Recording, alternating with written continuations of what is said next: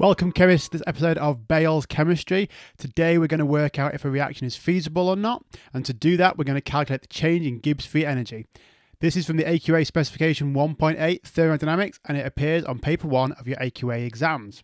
So, Gibbs free energy. It's named after Josiah Gibbs, who developed the idea of free energy in 1873.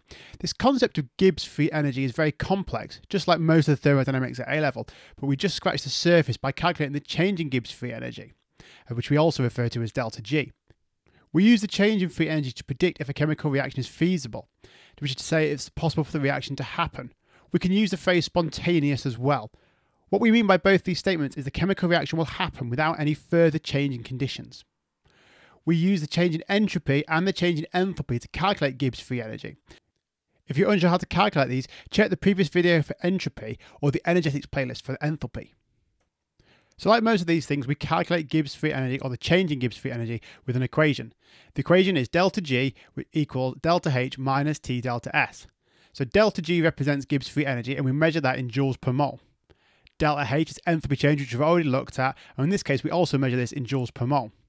Temperature is measured in Kelvin, and delta S, which is the change in entropy, which is also measured in joules per mole. Throughout this equation, it's really important we make sure we get the correct units.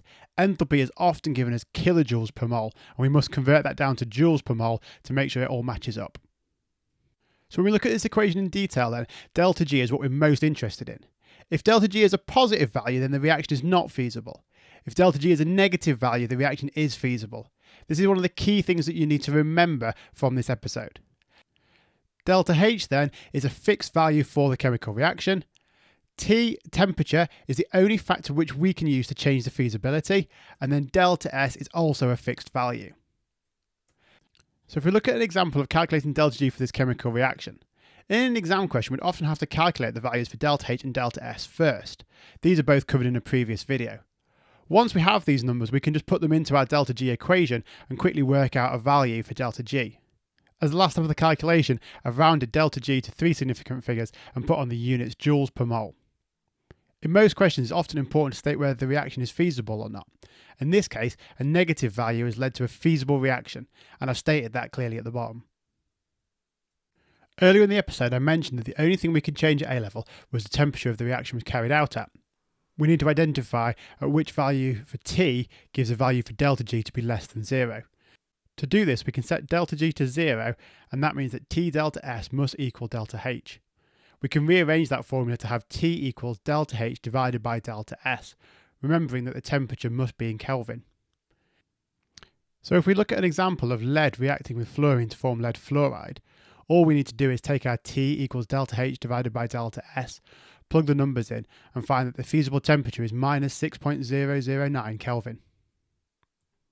It's often the case in exam questions where we have to describe the change in delta G after we change the reaction conditions. In this case, it's important to be clear with what we mean. If delta G goes up, we must say that it becomes more positive. And if delta G goes down, we must say it's becoming more negative. That's it for today's episode on Gibbs free energy.